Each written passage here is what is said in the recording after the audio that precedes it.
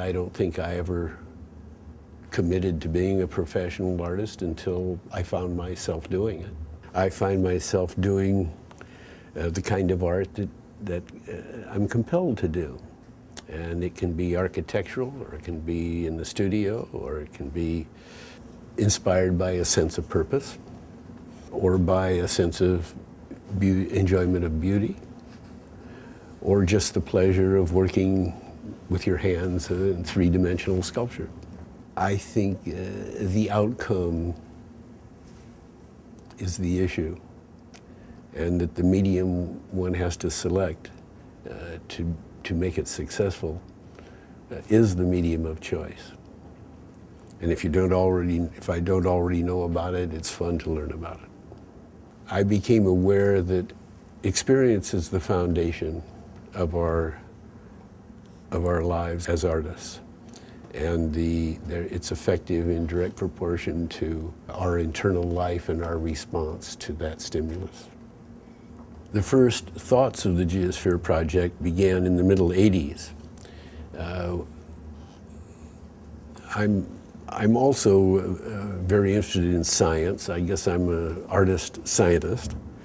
And uh, the first evidences of global warming were very clear in the middle 80s, along with deforestation and, and the uh, reduction of the protein content uh, of the species of the sea, and uh, acid rain was, from industry, was destroying many rivers.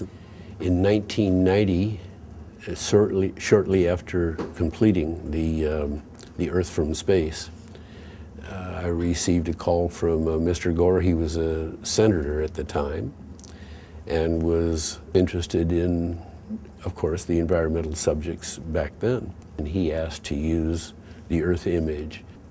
15 years later, um, I was approached by the folks who decided to make a film of Mr. Gore's slideshow presentation. So I, I worked very hard to give them a, a high quality image. And lo and behold, um, it was a tremendous success. Uh, Americans like best financial success. It was success as a, financially for the filmmakers. And uh, then it was honored uh, with a Oscar, and Mr. Gore got his Nobel Prize, and here's all this great response uh, to this same presentation that we were both working on in 1986. I'm 77, so I'm not anticipating uh, several decades of future work, uh, but I'm doing a, sculpture and painting in the studio now, and one main piece. I'm making a, a, a monument. The subject is war and religion. I don't have any illusions about stopping wars, but I, um, I do have a view of, of another way of looking at it. And I'm very inclined toward projects that uh, have purpose.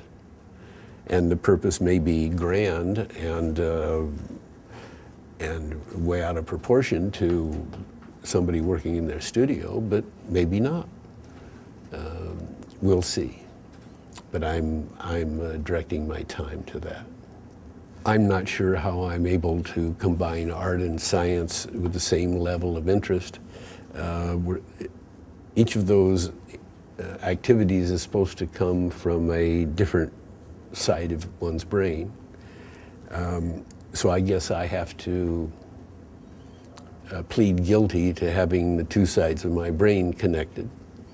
And I can't be responsible for that. I'll just, um, I'll just uh, express my gratitude because it's been, it's made a very enriched life for me to to be able to bring these together in my work.